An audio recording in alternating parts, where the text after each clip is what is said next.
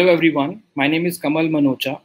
I represent PMS World. PMS World is informed investments based quality investing platform.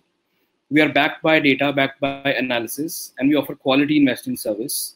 We have been running a webinar series by name Crystal Gazing Next Decade of Wealth Creation for Investors. While we are crystal gazing the next decade for wealth creation for our investors, you know, we cannot miss talking about role of international equities. And hence, today we have amongst us Mr. Viram Shah, who is the CEO and founder with Vested. Vested is one of very unique companies, platform, which offers Indian investors to invest in US equities without paying a single penny in commission. So it is a zero commission platform which gives direct access to investors to invest into Indian equity, to invest into US equities. So, you know, US equities over of late have been kind of rallying a lot. And there is another very important fact about US equity markets in terms of price to earning. If we compare US equity markets to Indian context, India's trailing PE today, all of us know, maybe it is less relevant, but it is more than 32, around 32, 33 on trailing uh, earning numbers. But at the same time, US equities are trading are, are trading at maybe around 22, 23 as a PE number. And from the perspective of diversification, when one is investing with the context of next 10 years, investing in US equities definitely makes some sense. What percentage one should be investing in US equities? How should one invest into US equities? What is it that Vested as a platform offers? How can you log in into the platform? How can you create your account? And what are the other value added services? All that will be covered in this session. I formally welcome you, Viram, to uh, uh, this webinar and over to you. You are on mute, you have to unmute yourself. Okay. Thank you. Thanks for the introduction, Kamal, and thanks for having me here on this forum. And uh, good evening to everybody who's attending. Thank you for taking time out on a Friday evening. Uh, there's there's a lot of um, video calls happening, and and everybody's super busy. So so thanks again for taking the time out. Let me quickly share my screen. I have uh, some slides that, that I'll go through to just structure the, the uh, topic that I want to talk on and, uh, and, and sort of what we'll be covering today uh, is basically about, about five parts. One is just uh, why US investing, why as an Indian investor would you want to uh, invest into the US markets? We talk a little bit about what are the regulations, how does taxation work if you want to invest in the US markets. Uh, we'll also look at kind of how you go about doing it through Vested. So a little bit about Vested as a company. What I want also want to cover is some some myths or uh, some kind of uh, misconceptions that might be there. So want to cover those as well today. And so that that pretty much covers what we'll be going through. And uh, if you have questions, please please feel free to to drop them uh, at any point in time, and uh, we can take them all in one go after after we finish the presentation. And uh, yeah, lastly, just from uh, from uh, kind of a, a, disclaimer point of view, so we are an SEC registered investment advisor, and so any any anything on in this presentation is is to be considered as information and and not as any kind of advice. great. So let's get going. So basically to start with, I, I, just wanted to highlight kind of what are the different kinds of diversification that you would look like look at uh, in terms of your investment portfolio. So there is one pillar of diversification which is called uh, asset-based diversification. So you're investing in different kind of asset classes. Say, for example, investing into um, real estate, you're investing into equities, you're investing into debt. So there are multiple asset classes that you want to diversify into.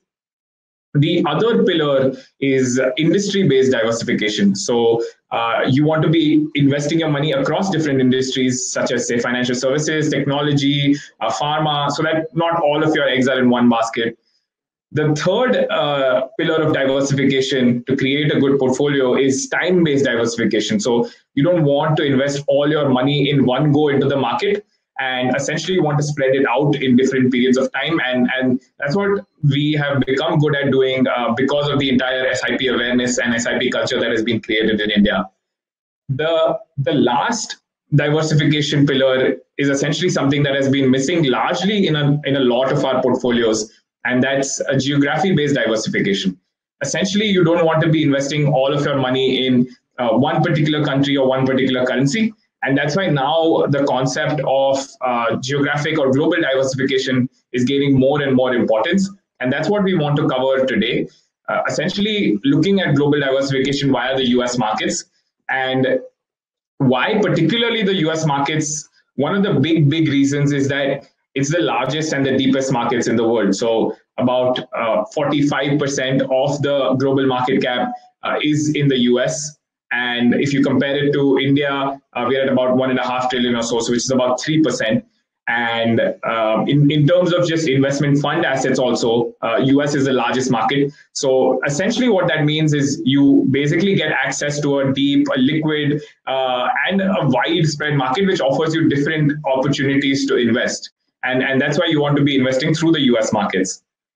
Now, why do you want to invest into the US, right? Why, why as an Indian investor should you be looking uh, to invest into the US markets? And so here, the way we look at it is primarily four reasons why you should be doing it.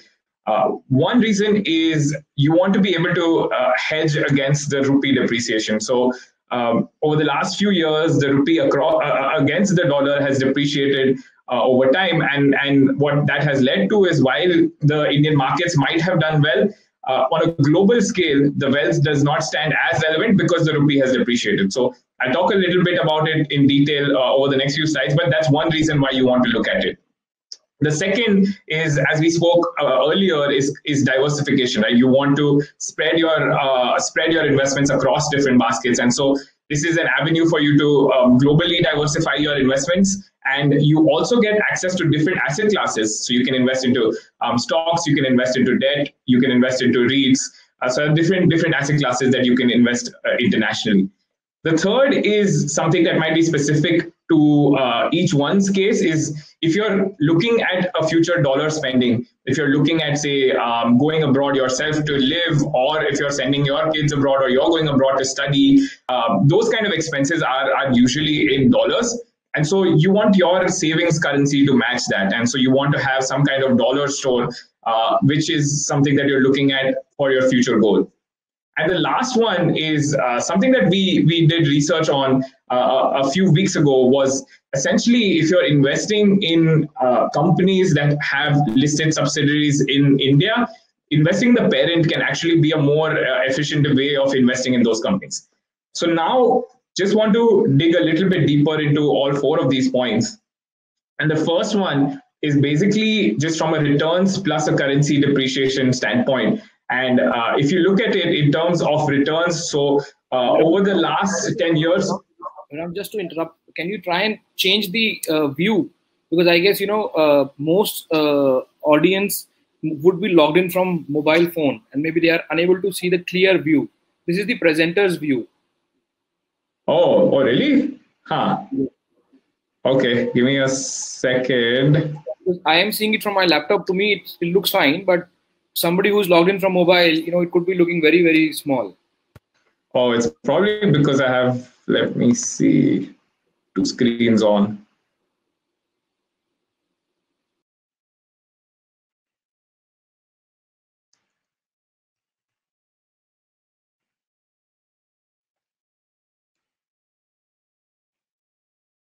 How about now? This window, you can try to expand this window. Uh, Does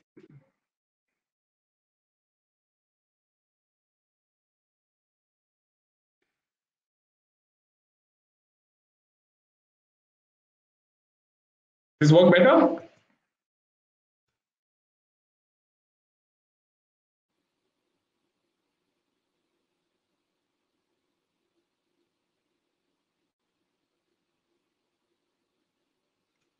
Does this work better? Kamal. Absolutely. Yeah, yeah. Please go ahead. Okay, cool. Sorry for that. Uh, there was not much to see on the slides anyway before this, but now anyway, if you look at the charts. So what I was talking about was just from a return standpoint. Uh, if you compare the Sensex to the Dow Jones, which is the the um, kind of like for like comparison, uh, over the last 10 years, the Dow Jones has given about a 188% return versus 122% for the Sensex. And uh, that is comparing them in their individual local currencies. So the Dow Jones in USD and the Sensex in INR. And then if you add to it the, the rupee depreciation over the last 10 years, the rupee uh, 10 years ago was at about 45. Now it's at, at close to uh, about 75 or so. And if you add to that um, this rupee depreciation, the, the, the returns actually in terms of um, dollars for India uh, actually become quite low. And, and so um, that's what we mean, uh, mean by the, the fact that the rupee depreciation hurts returns on a global scale. So the Dow Jones, if you look at just from a USD perspective, it's at 188%. However, the Sensex from uh, a USD perspective is at 34%. And so, say for example, you had invested about 4,500 uh, in the US about 10 years ago. Uh, in in terms of uh, sorry, in the Sensex about 10 years ago, you would have about 10,000 rupees right now uh, and, and, a return of about 8% every year.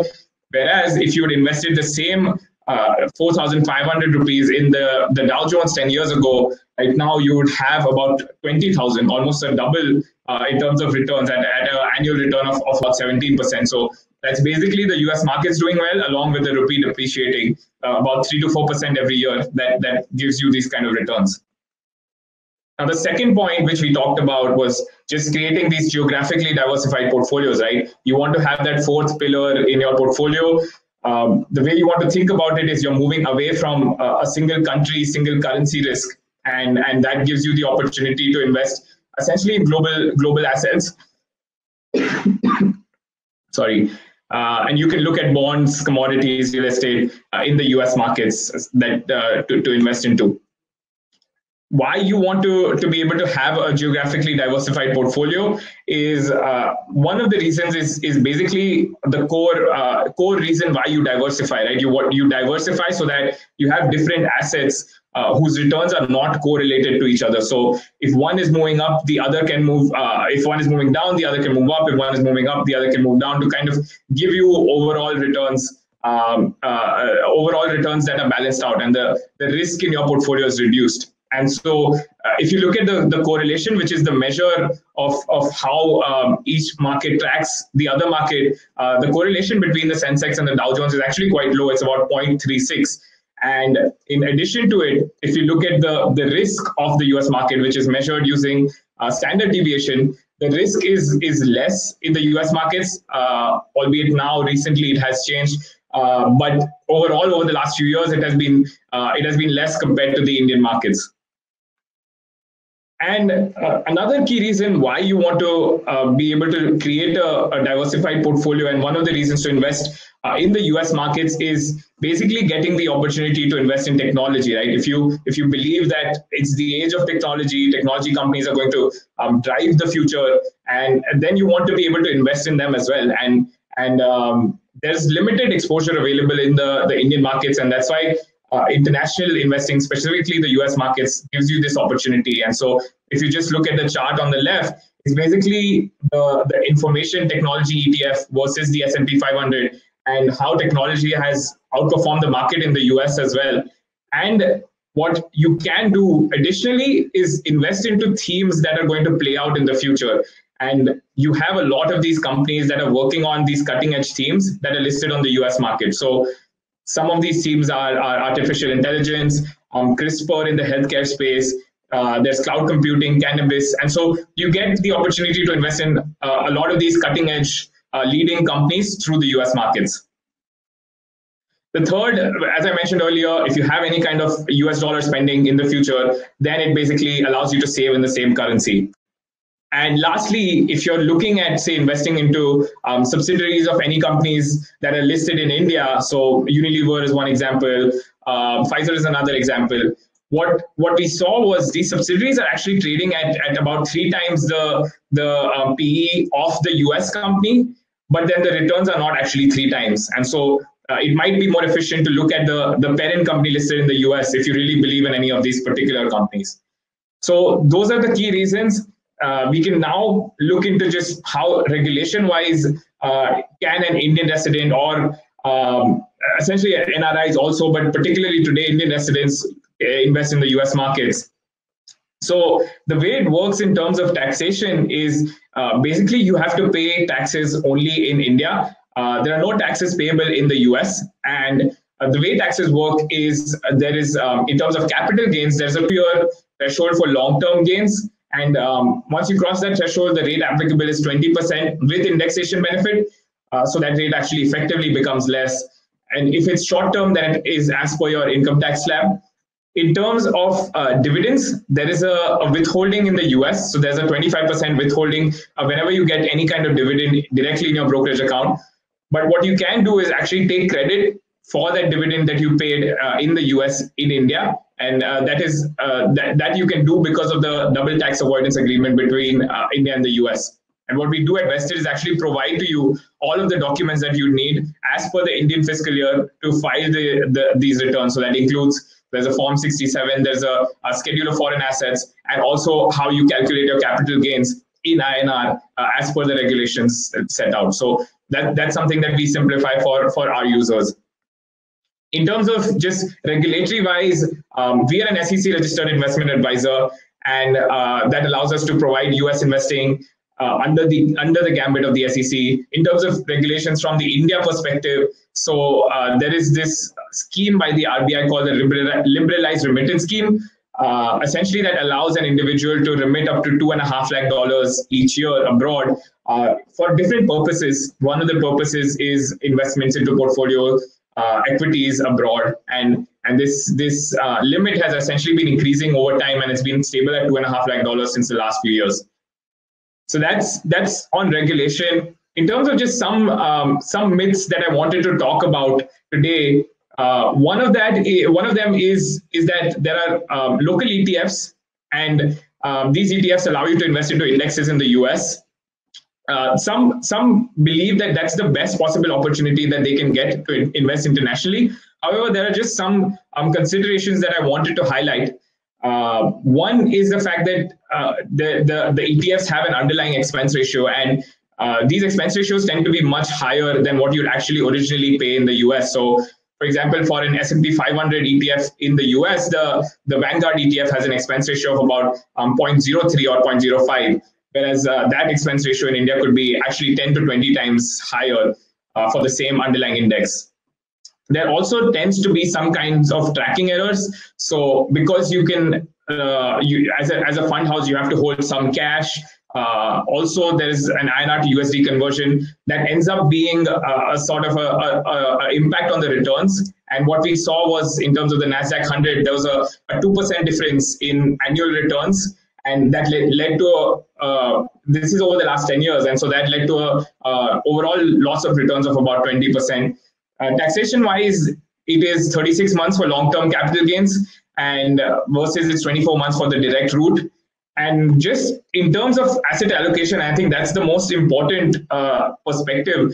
It's basically investing in the index, which is the S&P 500, which is actually a very concentrated index. I'll, I'll talk about it in a in a couple of slides, but it's a very concentrated index and uh, might not be the best way to create a, a risk optimized portfolio you might want to you might want to spread your investment across different asset classes so you're so that you're getting the the best risk risk optimized return. And uh, i'll also talk about what some model portfolios could look like eh, across different asset classes.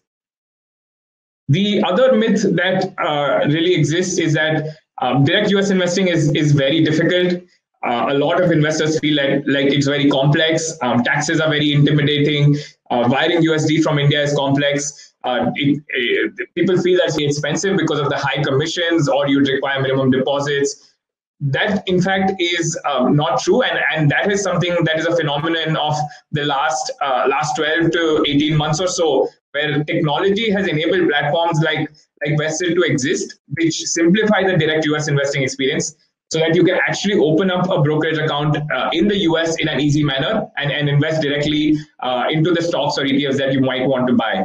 So what what what uh, what we enable is basically you can get started in a very easy manner uh, via web or mobile. You go through a KYC, which is paperless, completely online. The fund transfer process uh, is something that has been simplified from what it used to be earlier under the LRS, under sort of capital account where investment falls. Uh, there's also going to be significant improvements in the next two to three months, which will make it much more seamless as well. Uh, what also has now been enabled, and one of the key reasons why US investing now makes sense than say one or two years ago is the ability to buy fractional shares. So uh, earlier, if you wanted to invest into an Amazon, say for example, it, it was basically three thousand dollars. Now those three thousand dollars it translates into like two two two lakhs in one go to buy one share, which is very expensive. So now fractional investing has enabled people to build their portfolio over time in an easy manner. Uh, also, you don't have to pay ridiculously high commissions and lose a lot of your returns in just fees. Uh, it's a commission-free platform that allows you to invest in an easy manner, and you don't need to have any minimum deposits. What you also get is is advice. So if you want to invest beyond the Facebook, Apples, Googles of the world, how do you create a portfolio? That is also something that's available now uh, through through our platform to, to invest in an easy manner. And the third one I wanted to talk about uh, is that S&P 500 is a good representation of the US markets. Um, it's actually a very concentrated index. So if you just uh, look at the chart on the left, of course, it shows you how the returns for the S&P 500 have been. If you look on the chart, uh, you look at the chart on the right, you see actually a lot of those returns are driven by the what they call the FANG or the, the large technology companies, the Facebook, Apple, Googles of the world. The other two lines, the red and the yellow line, actually are the charts without uh, uh, the red one specifically is the S&P 500 without the technology companies, and you can see that the performance has actually not been um, that great. And so it's basically the large technology companies that have been driving the S&P 500.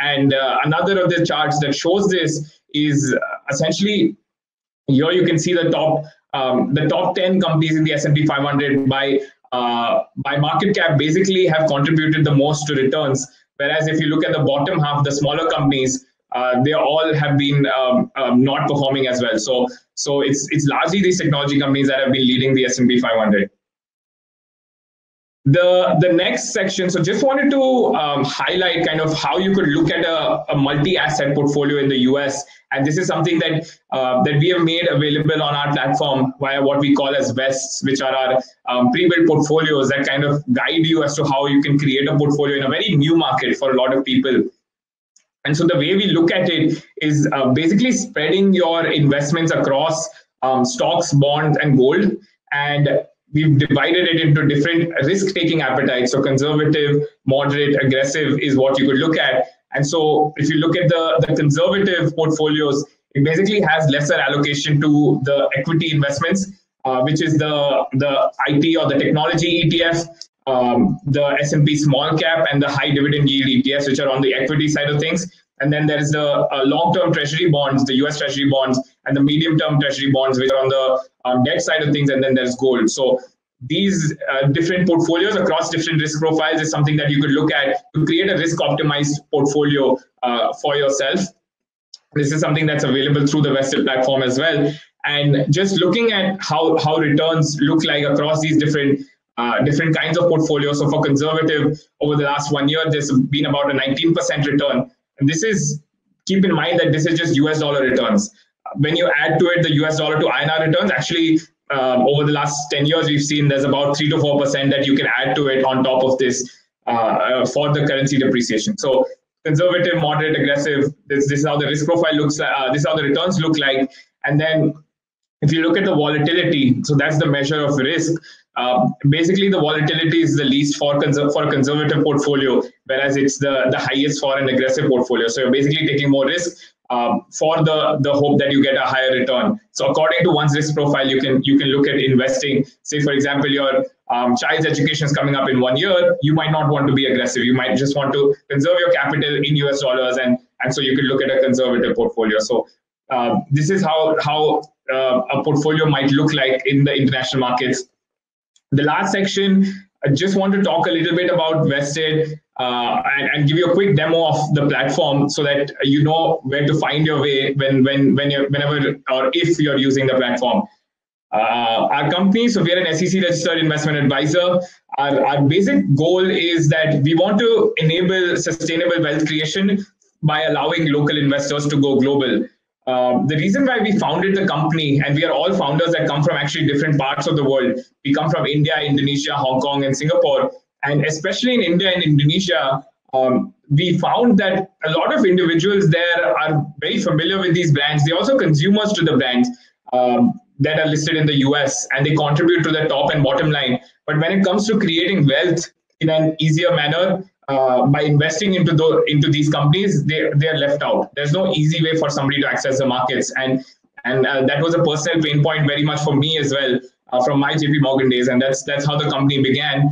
Um, we started it in the US, and we're headquartered there, uh, growing in terms of deposits at 40% month on month, and now have more than 25,000 uh, brokerage accounts that we've opened for for investors uh, in India and NRIs as well.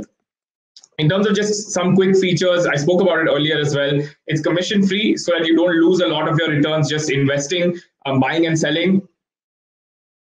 There's also fractional investing, uh, allows you to create a portfolio in an easy manner. There is vests; those are the model portfolios or a different kind of portfolio um, kind of recommendations that we give that's available.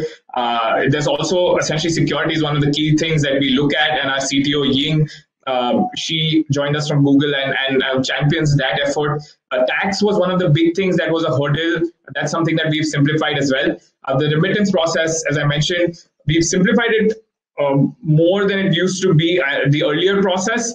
Uh, there's still more simplification that needs to be done, both from a cost as well as a process perspective, and uh, that's that's underway as well.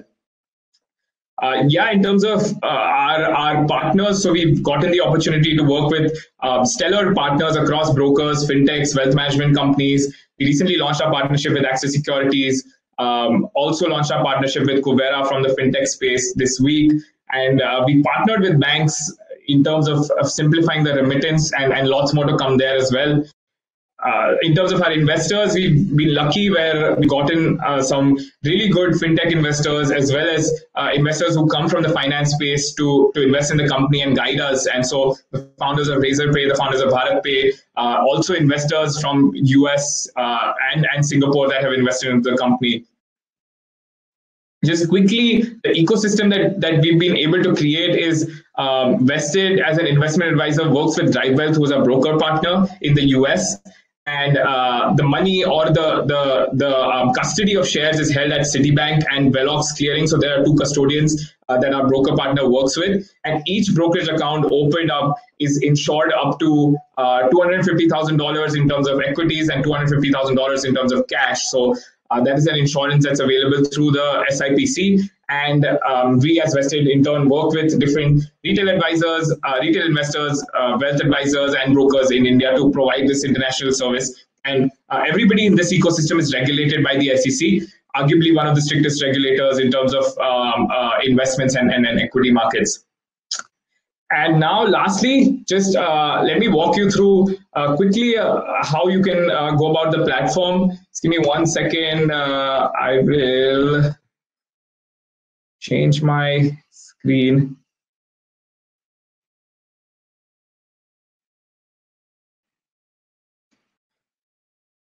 Okay, I hope you can see it. So uh, I'm actually giving you a, a sneak peek of a a new user interface that we have created. And so this is going to be launched this week. And, and so uh, you have the opportunity to, to look at it earlier. Uh, so you can basically go to app.vested.co.in to get started. And uh, uh, or you can download our mobile app, or you can go through any of our partners to be able to create an account. The first step would be just to go through a KYC, and uh, that's completely online. It's pretty straightforward. So I won't go through that in detail. As soon as you create an account, we prompt you to uh, go through the KYC. Here, this is an account that has that has already been funded. So I have about ten thousand dollars in cash. This much is what I've invested. This is the current value of my portfolio. Uh, here's where you can track your portfolio returns over the last uh, one year or so and you can basically see how your portfolio has been performing. It's been pretty good actually. I wish I'd actually put in those ten thousand dollars myself.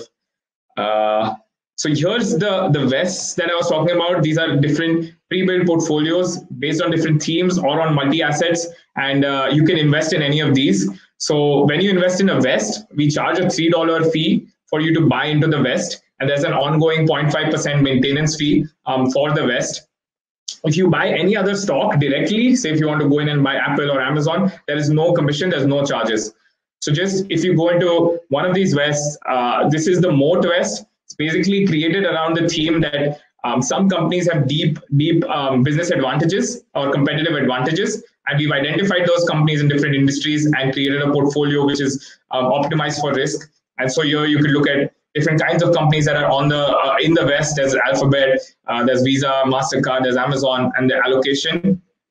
Uh, we here talk about the reasoning as to how this portfolio was created as well, and uh, here you can see the return. So uh, it's basically performed quite well. 34% uh, versus 15% over the with the S&P 500. This is an aggressive portfolio, and what you what you get to do is basically you can buy this in one click. So you say, for example, want to invest $2,000 in this, vest, automatically your allocation will be calculated and uh, you can preview the order. There's a $3 fee and just it'll buy the entire basket of stocks uh, in a simple manner. So that's how you can buy into a Vest. And what you see here, once you put in an order, so market opens in about an hour.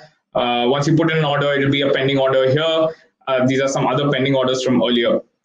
Now that's, oops, sorry. I clicked on it. Okay. Uh, so that's that's on the Vest. Here we have uh, what we have uh, called collections. Basically, you can explore based on sector, based on theme, based on geography, and and discover different kind of investment opportunities. So, say, uh, I mean, for example, I want to invest into Europe for that matter. And so here you'll see companies that are or ETFs that are investing into Europe. And um, say I want to invest into Spain, so you, you can just go in, uh, click on this, you see the performance.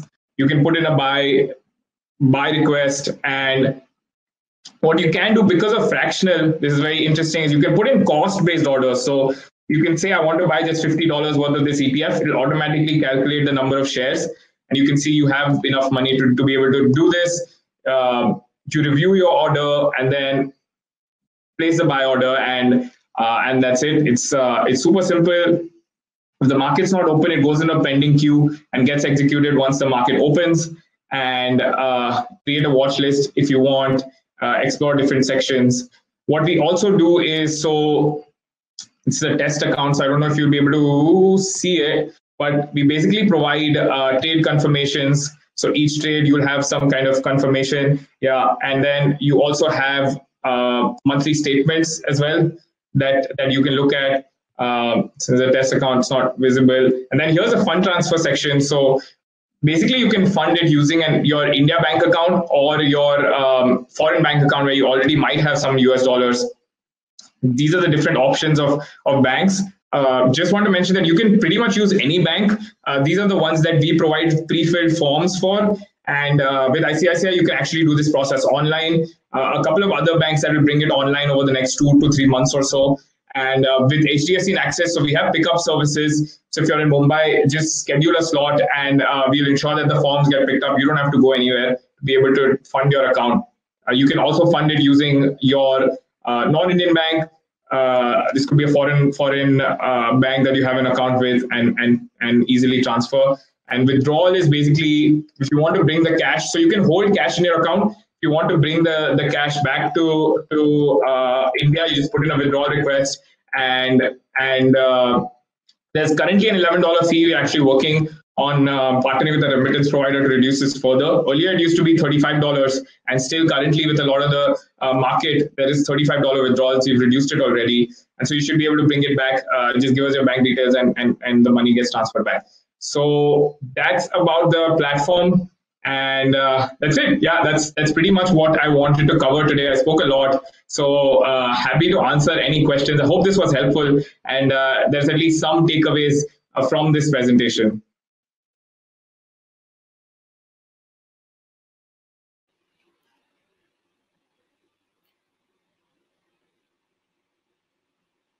Thank you so much, Viram. It was definitely quite helpful. You have answered most of the questions but I'll still, you know, uh, there are a uh, couple of questions which still needs to be answered. First of all, like in Indian context, we have a concept of demat account where stocks are held and they are considered to be a very safe uh, option. So what is the replica? What is the kind of a demat thing in this context? Where is where where ultimately are securities being held?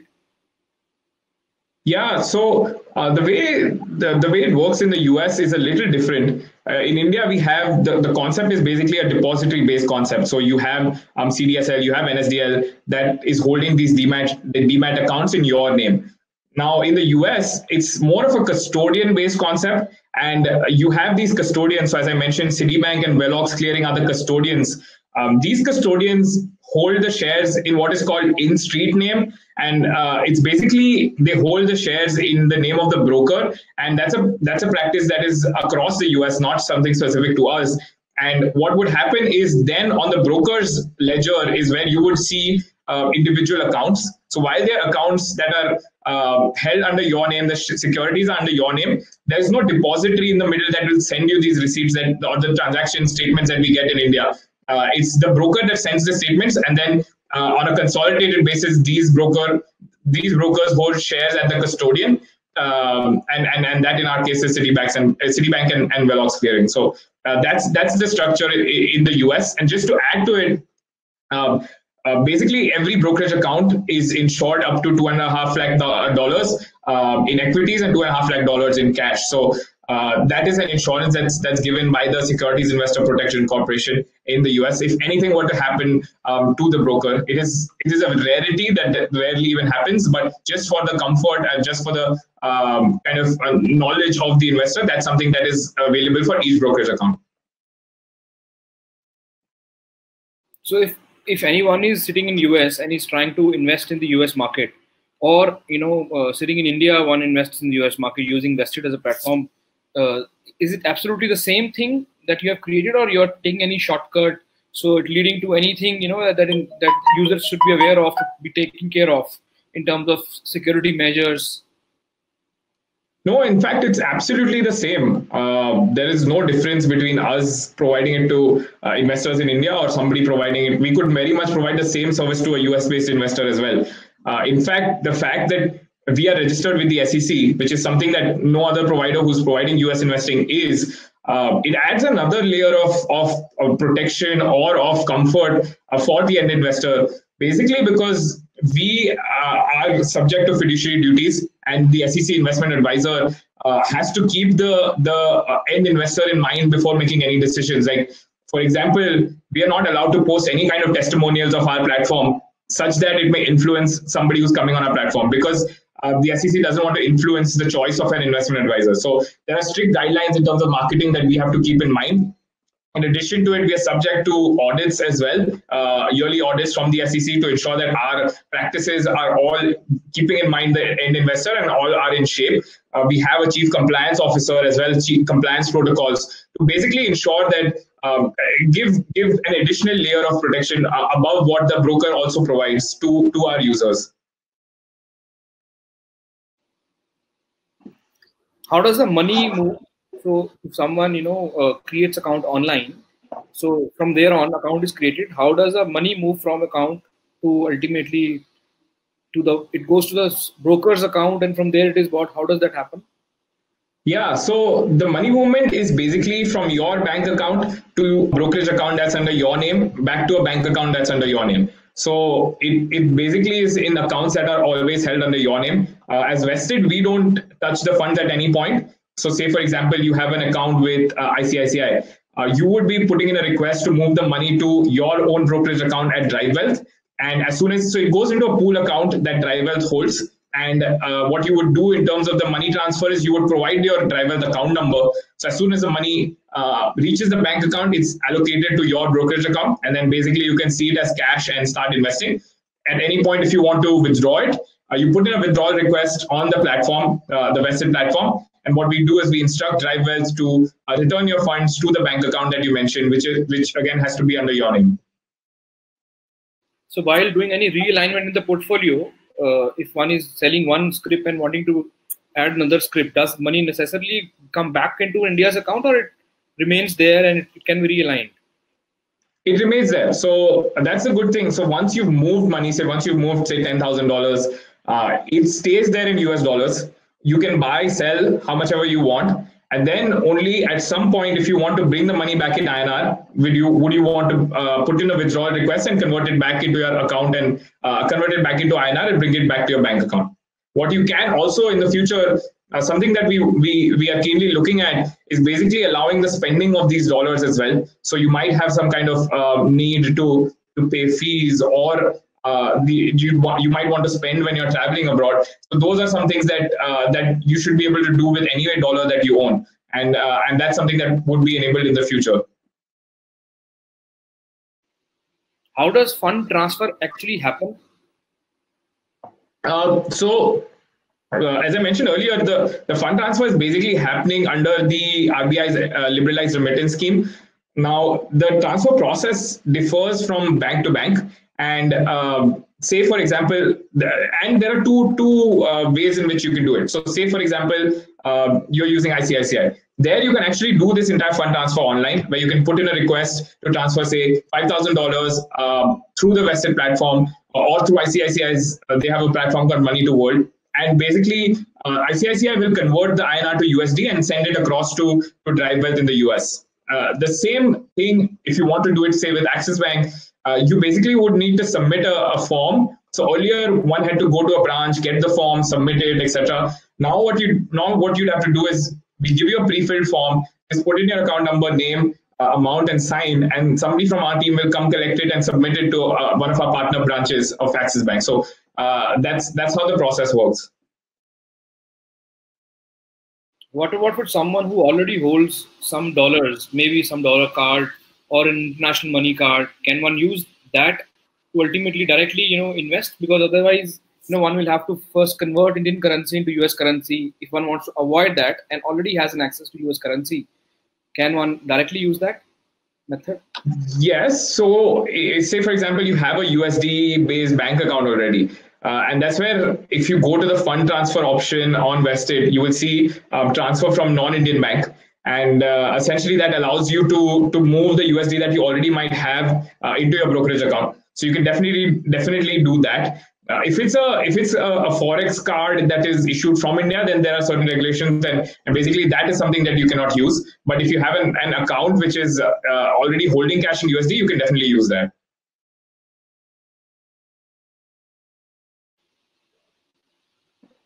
Right. Is Vested providing access to all the listed companies into on Dow Jones?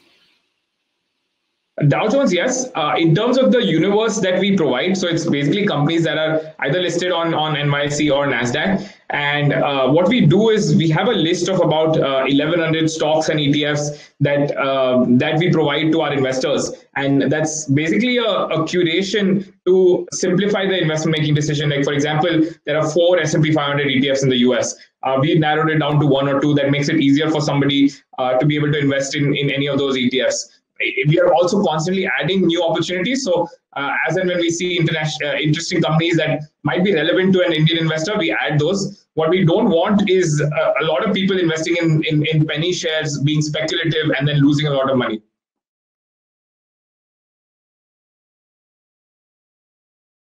Right. So there is a cross question, not clear. Why should I need to have USD money in my account? My INR will be used from my bank. So would you like to clarify this further? Yeah, yeah. So basically, INR will be used. You don't need to have USD money. Only if you already have it, you can use it. A very, very basic question. You know, you have already covered it in your presentation.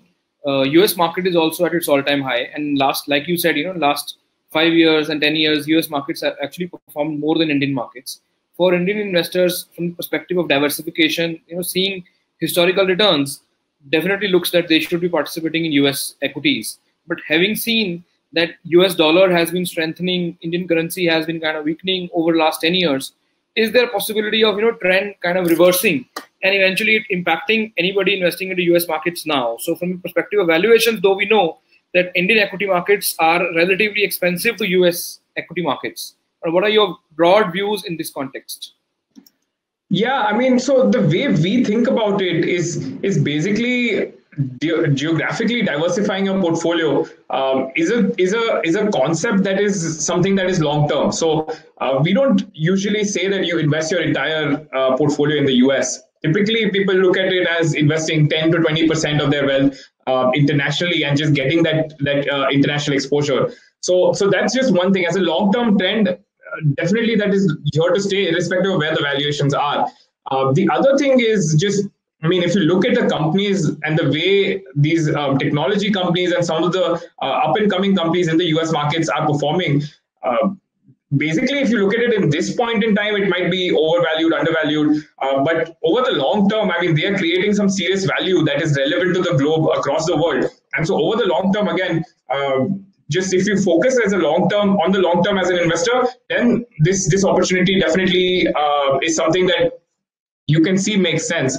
And uh, the the third is uh, just from the point of view of the the currency um, as long as kind of a crude way to look at it is basically inflation stays higher in India and and, and it likely will uh, since we need to grow the the rupee will likely continue to depreciate over time and so so that's that's again sort of a high level view on it um, a detailed kind of view of course we'd have to leave it to the the end investor um, I, I, wouldn't be able to provide detailed advice, but yeah, that's that's the way uh, we're kind of looking at it. And and overall, somebody should just look at it as from the long term perspective and allocating a certain part of their portfolio to the international mar- markets perspective. So the market that you're targeting is US at the moment. What is the target audience that you have? Is it only for Indian domestic investors or NRI sitting out of, for example, UAE, Singapore? Hong Kong, can they also be investing? Can they also invest in US using your platform? Yes. So basically, Indian residents as well as NRIs can use the platform. We have now NRIs, I think, from about 56 countries uh, that are using the platform already, and uh, they have found a lot of value as well. So, so both both uh, NRIs and resident Indians can use the platform. Any country that you're restricting in this list? Uh, there are certain uh, countries that basically uh, are, are, falling under a list and, and uh, they are not allowed. And so if you just go through the vested KYC, basically those countries are not not available for you to pick and, and you will be able to know. Have you any data to kind of you know uh, share that your model portfolios or you know your investors have made higher returns than maybe you know if they would have directly invested into the uh, ETFs or directly into S&P 500 index? Yeah, so in fact, if you go onto the Vested platform, uh, you should be able to see all of the data. And um, basic, the basic goal for these portfolios is one, uh, going after a certain theme so going after, say, software as a service as a theme, or going after, um, say, moat as a theme. And so, if you believe in in those themes, and if you believe that that that they will in the long term uh, outperform the market, then that is something that you can look at. Or the other goal is uh, giving you a sort of a market return, but at a better risk rate. And and so that's what these multi-asset portfolios are are uh, aimed at doing, where they have equity, they have bonds, they have gold. Uh, so you don't end up taking a lot of risk, but also you can get uh, I mean, if you look at the last uh, last 10, 10, 10 years or so for those multi assets, you've gotten about um, 8 to 12 percent in terms of returns, and and that's generally what the equity markets in the US over the long run have returned as well. How difficult? an annual basis. Yeah, sorry. How difficult is it to you know obtain the SEC registration or license you know to start with? Because in Indian context, we know there are a lot of norms. If one has to, one, one wants to become an advisor, there are advisory norms. You know, for portfolio management, there are portfolio management norms. There are certain stipulated guidelines in terms of you know requirement of capital. So, what what are your minimum guidelines and requirements that you have fulfilled to be able to create and run this platform? I mean, it's it's the same, if, if not um, more stringent in terms of just ongoing policies and procedures that we need. So uh, we basically need to have a, a, compliance officer in place, ensure that our policies in terms of um, anti-money laundering, in terms of KYC, uh, in terms of tracking all our, our uh, internal uh, shareholdings, all of those need to be in place. So, so there is uh, kind of a lot of things that need to be done to be able to get that license uh, what we have, so we are basically an, an online only advisor. So essentially, uh, what we do is we provide advice through our platform only and, and not in person. And so any advice that you'll get from Vested will be through the platform itself. Uh, none of our team members will be able to give any kind of personalized advice. So does that require you to have uh, you know SEBI's advisory license or any other uh, licenses in Indian context?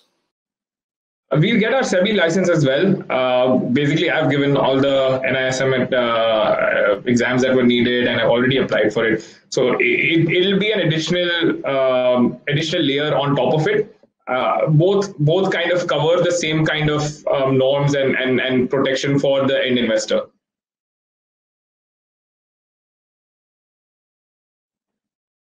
So I think you know uh, everybody is really uh, liking your uh, uh, entire uh, creation. And uh, to my understanding, most of the questions have been answered. But I will just, you know, want you to explain once again the the formal procedure of how the flow of money happens because that is where I am getting most of the questions. You know, I think investors are not clear in that regards because still investors, still you know, uh, the audience of investors uh, or aspirants who are logged on to this session, they are trying to ask questions with regards to the hassles which are there in transferring the money.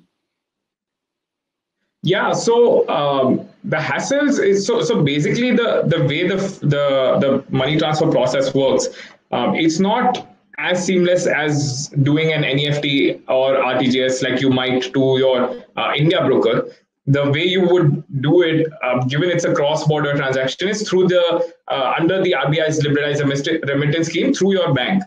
And in terms of the process, uh, also it's not uh, essentially it's not hassle-free because it's not completely online yet. Uh, however, say if you work with if you bank with ICICI, you can still do it online in an easy manner. So what happens is basically your INR needs to be converted to US uh, dollars to load it into your brokerage account and to do that, you could go through any of the banks uh, that you work with or you have an account with. And uh, there are two processes currently. One is an online process, one is an offline process. Um, say if you're going for ICICI, which is online, you basically can put in a request to move the money to DriveWealth and um, and it, it will be done. Typically, it takes about one business day or two business days, and uh, you don't need to do any kind of form filling or anything of that sort. The second uh, way to transfer the funds is uh, through the offline mode, which is majority of the banks currently. And where we've um, kind of tried to simplify the process is uh, offering a, a, kind of a pre-filled form uh, as well as the ability to to get the form picked up and submitted to the branch and, and in fact get better rates as well and uh, there you would get a form in your email you you you have to print it sign it put in the put in the amount that you want to transfer uh, with Axis Bank, we have a, a flat kind of 1% FX markup uh, versus what they typically charge is about 2 to 3%. And uh, we submit it to the bank branch. It again takes the same amount of time, and, and the dollars get credited into your uh, brokerage account. I hope, I hope that helps. Right. So if you know uh, someone transfers to begin with an amount of say uh, you know uh, twenty thousand dollars to do an investment and uh, you know one is unable to decide ultimately in which scripts one is wanting to invest and that $20000 is invested say over a period of one month. So during that one month does one receive any interest on that $20000 or you know money which is not ultimately invested and it remains idle? Does it get parked parked into any kind of a short term deposit or a short term debt fund so yeah, so that money is basically held in a in a bank sweep. So it's held at a bank which uh, does give interest. However, given the interest rate environments in the US, so earlier it used to be about 1.6% annually that you would get um, in USD. Right now, of course, it's the interest rates have almost gone to zero, and so the interest is is minimal. Uh, what one could look at is, say, parking the money in a in a U.S. Treasury uh, ETF or a or a, um, a short-term uh, debt fund or a debt ETF, essentially, if they want to earn earn interest on the the money that they haven't invested yet. So, uh, can you please explain, uh, you know, uh, once again, how many entities are involved? So, you know, one opens, one logs into vested online and then from there onwards you know it goes to the brokerage account and then custodian bank. So what are the what are the layers of various entities involved? Yeah i think these are the three three main layers. From a, a, end user perspective you would just be interacting with vested finance because we help simplify the entire backend uh, but just for the information of the end user uh, they can know that hey, this is the custodian where my money is held. This is a broker who I have an account with, uh, and and they would be interacting with Vested through our online platform. Right. Do you have any plans to um, make other economies also operational apart from US markets? Yeah, over over time. Uh, currently, what we want to do is firstly allow people to invest in the US markets in an easy manner. Once that is something that we feel enough people know about and are educated about, then we can look at different markets as well. Having said that, uh, as I showed during the demo as well, through the US markets, you basically can invest into the entire globe essentially. So it's a proxy for the global markets where you have ETFs that are investing into almost every country in the world. Uh, you also have companies that that have uh, uh stocks listed in the US or ADRs listed in the US. Uh, for example, Toyota is listed there, or um, Alibaba is listed there. So you can invest in those companies as well. Uh, so so it's a good way for somebody to get get exposure to the world. So if you know uh, one kind of tries to create an account just now on Vested's platform, it says that it will take four or five days to uh, you know process. What does that mean? So um, the current flow, and again, all of these things are are improving uh, as we get more and more efficient. Uh, what the current flow is basically we do a check, uh, KYC check on our end, and then the broker does a KYC check from their end. And um, due to COVID, things have been a little slow. It typically does not take that long. It, ta- it takes one to two business days essentially. Uh, in case there is a, a, a, discrepancy in the documents or uh, they are not as per the SEC's requirements, we revert back to the customer asking them to uh, submit documents that would work. And so that might take some uh, longer time in processing. But if it, everything is in order it, it might even just take one day. So if you submit your uh, request today or tomorrow it might get opened by night once the us opens.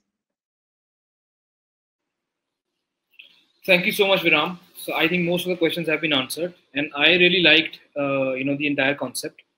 And i think it adds a lot of value. I can tell you uh, there are a lot of investors who have been wanting to invest overseas, especially in US markets, and this provides a very open platform to them to ultimately invest basis their own, uh, you know, decision making. Uh, uh, you know, while I'm uh, trying to give the concluding notes, there are uh, there, there are a few offhand questions which are being asked by uh, I think some of the advisors and distributors who are also logged in on this webinar, and that pertains to what is your revenue model? How do you make money? It's an optional. You know, you, you want to answer you can answer this. Yeah i mean uh, no full transparency. So for us we basically had a decision whether we want to charge commission or uh, try and and and uh, figure out a different business model. What we realized was just thinking from an end user perspective um, commission ended up becoming very expensive. Say you want to buy into for example you wanted to buy into a vest which has 10 companies in it uh, it just makes it about earlier it used to be about three dollars or so. Thirty dollars in, in in terms of commission is just 2000 rupees gone uh, in on top of any kind of FX fees, etc. that you have to pay. So pay. So it, it, it just ended ended up becoming very expensive. So what we what we decided was um, we'll have a different model wherein uh, we have certain kind of value add features that we provide. So, for example, these vests where we are providing uh, advisory, we'll keep adding more and more value add features which will be chargeable and, and provide value to the end user so that it's worth it for them to pay as well. Uh, what we have with, say, for example, with our uh, uh, Axis Securities partner, or um, soon on the B2C is also a subscription plan, which gives you additional features uh, that allow you to create a portfolio in a better manner. And so we, we charge for that. Uh, with our partners, some of these partners they they charge uh, as a percentage of AUM because they're giving advisory on the entire US dollar assets, and so we do a revenue share with B2B partners. Um, and also, what we're looking to do is work with banks uh, to be able to get some kind of revenue share from them uh, since we are providing to them additional business. Right. Really like your transparency. So we also really value that. We're also absolutely as you know uh, as much transparency one can kind of express. It adds a lot of confidence to investors. And thank you uh, for this detailed session. We are bang on time. You know, it's exactly one hour. And if there are any more questions that we see in the chat box, I will request you to kind of answer that. We'll send you over email and then we can share a detailed note, maybe, you know, post this webinar. Is that fine? Yeah, for sure. Right. Thank you everyone for logging on to this uh, webinar. Thank you everyone. Thank you. Thanks everybody. Take care. Have a good weekend.